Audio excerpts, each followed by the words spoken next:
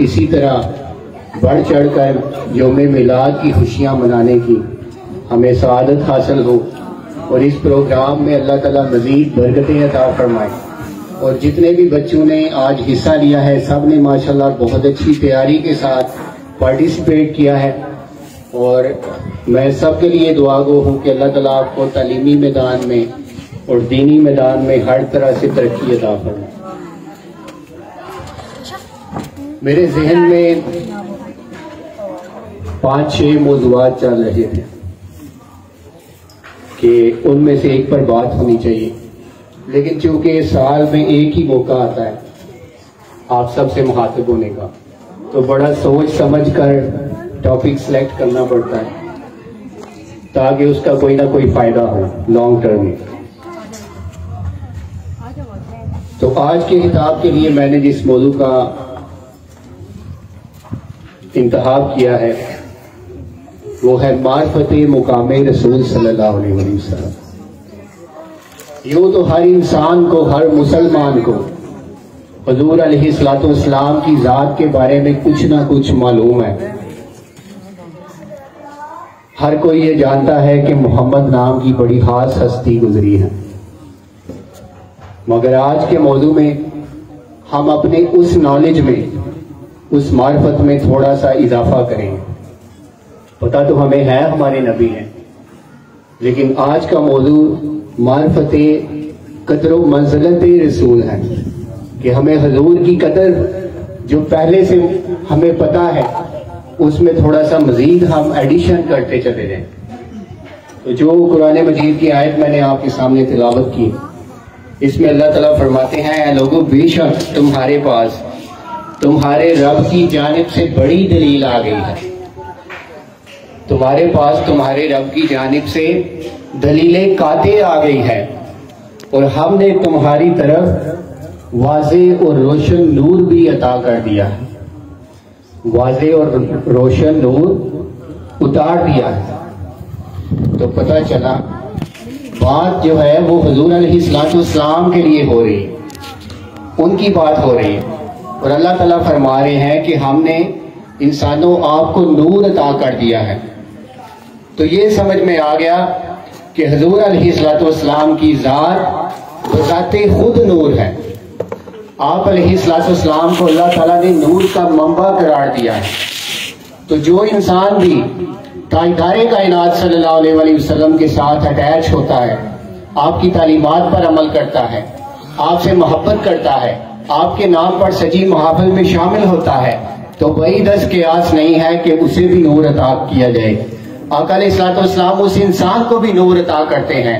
फिर वो इंसान नूरी हो जाता है और नूर का बर्ताव लेकर चलता फिरता है। और ना सिर्फ़ अपने अंदर वो नूर की शमा रोशन किए रहता है, बल्कि वो सोसाइटी में जहाँ भी जाता है, फिर नूर फैलाना शुरू कर देता है। लोग उसकी बातों से नूर हासिल करते हैं, उसके किरदार और अमल से नूर हासिल करते हैं। और जो फिर आगे वो काम करता है, अल्लाह ताला उसमें भी नूरानियत शामिल फरमा देता है। तो हज़रत वकार आकर की ज़ात की मार्फत हासिल करने के लिए हम सबसे पहले जिस हदीस मुबारक को देखते हैं, उसमें ये तालीम दी गई है कि इस्लाम की ज़ात की कायनात में कोई मिसल नहीं है। हज़रत अबू हुरैरा रज़ी अल्लाह बयान करते हैं अकल इस्लाम जमात के लिए तशरीफ़ लाए और नमाज़ पढ़ा पढ़ाकर रुख फेरा। फिर एक शख्स की तरफ़ मुतवजे हुए और अकल इस्लाम ने फरमाया, या फुलानो अला तुसिनो सलाह तक ए फला शख्स, तुमने नमाज़ अच्छी तरह अदा क्यों नहीं की? क्या नमाजी अदा करते वक्त ये गौर नहीं करता कि वो किस तरह नमाज़ अदा कर रहा है? वो महज अपने लिए नमाज़ पढ़ता है।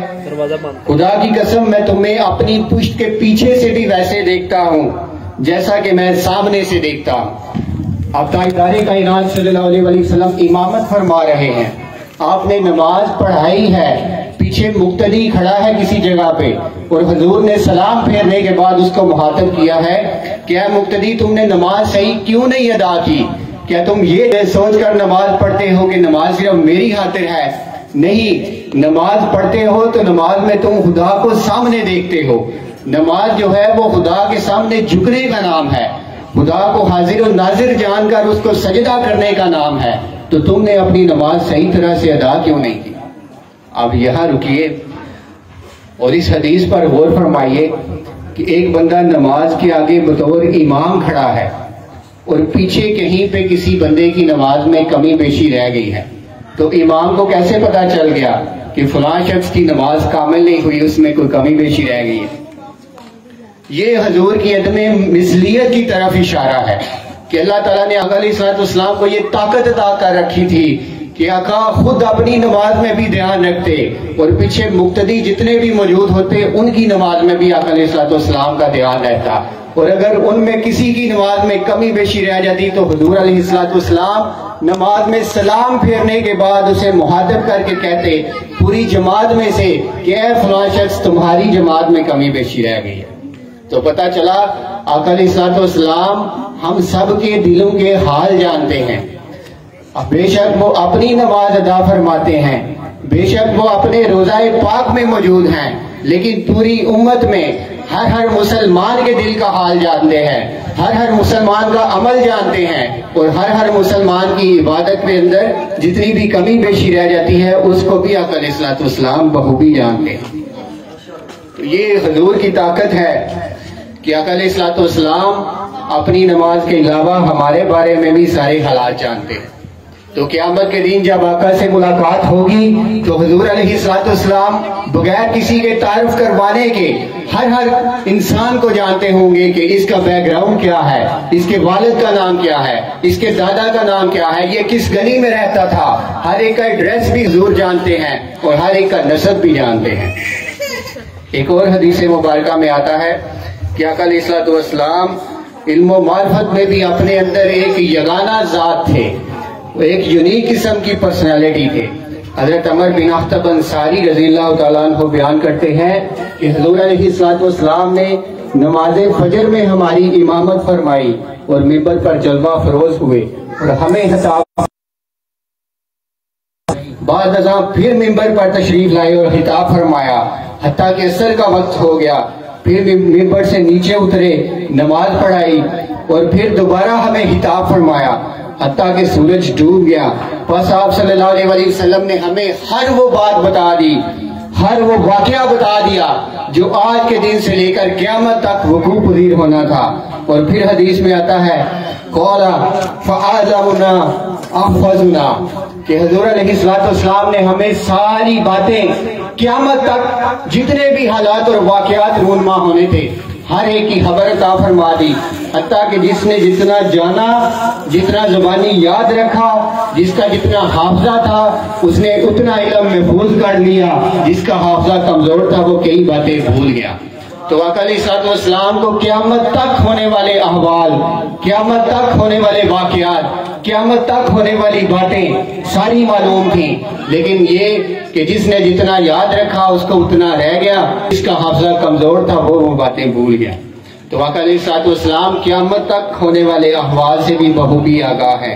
और एक और हदीस मुबारक में हमें नबूवत मोहम्मदी वसल्लम की कदर मंजिलत और ऊँचे मुकाम का पता चलता है। उम्मीन हज़रत आयशा सिद्दीका रज़ी अल्लाह से मरवी है कि हजूर अलैहिस्सलाम ने पाया हज़रत जबरील अलैहिस्सलाम ने कहा मैंने ज़मीन में तमाम अतराफ अकनाफ और गोशा गोशा को छान मारा, मगर ना तो मैंने मोहम्मद मुस्तफ़ा से किसी को बेहतर पाया और ना ही मैंने बनु हाशम के घर से बढ़कर कोई घर बेहतर देखा। यानी अल्लाह ताला ने अकलीसलाम की फैमिली हाशमी खानदान को भी वो अजमत अता फरमाई है कि पूरी इस रुए ज़मीन पर हज़रत जबरील को इस खानदान जैसा कोई खानदान भी नज़र ना आया। इस हदीस को इमाम तबरानी ने नकल किया है।